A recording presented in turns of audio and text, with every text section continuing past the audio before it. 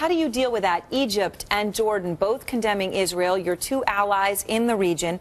Um, they're saying that it, it, your Prime Minister Benjamin Netanyahu has overplayed his hand and possibly is undermining Israeli security. What do you say to that?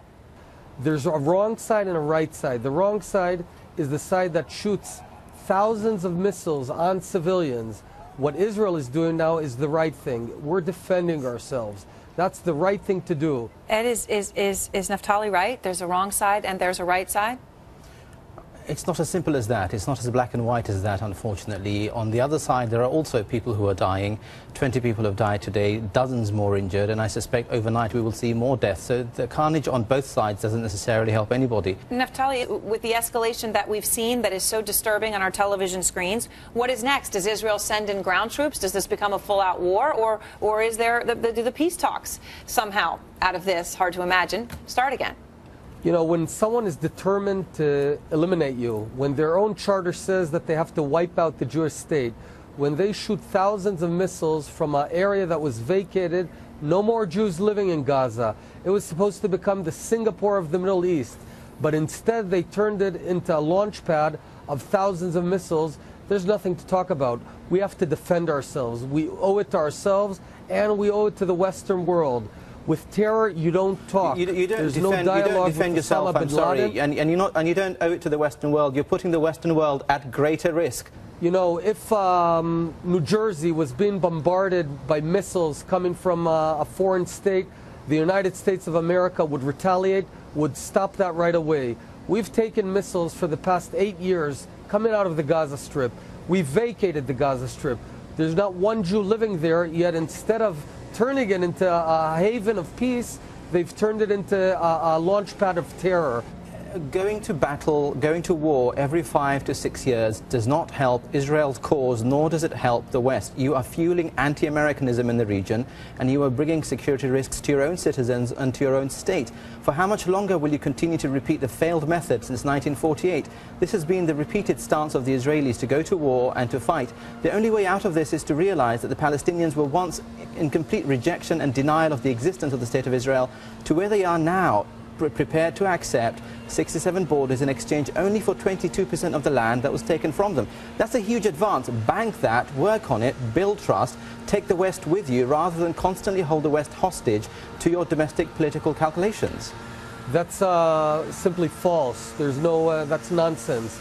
We vacated land. Every time we vacated a piece of land, handed it over to the Palestinians, what we got in return was a mass wave of terror. We have to learn the lesson.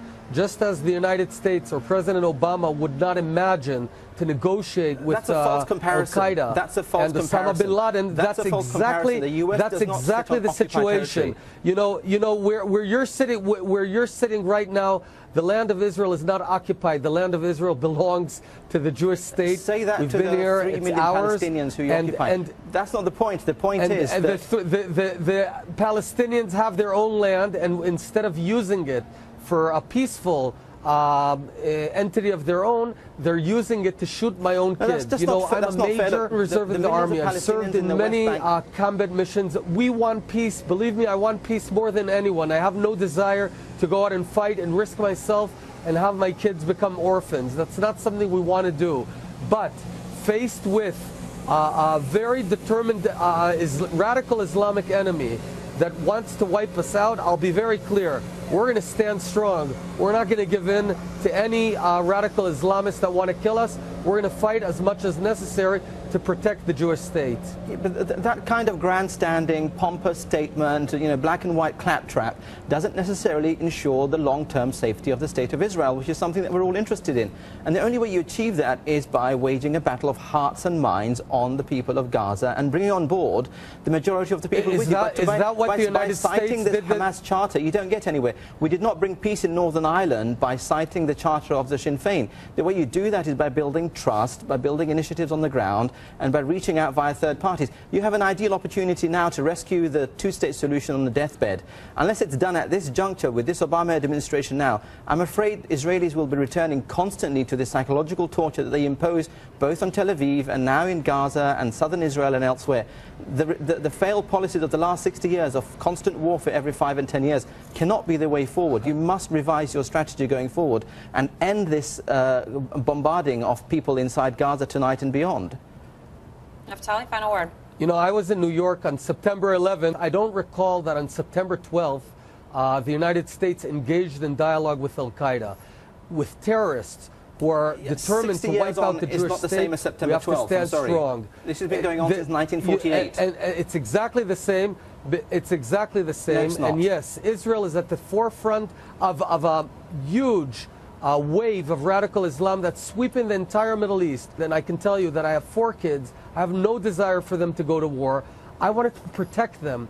I hope that one day the Palestinians will get some sense and will stop shooting missiles at my own children. But until that time comes, we're going to be here to protect ourselves.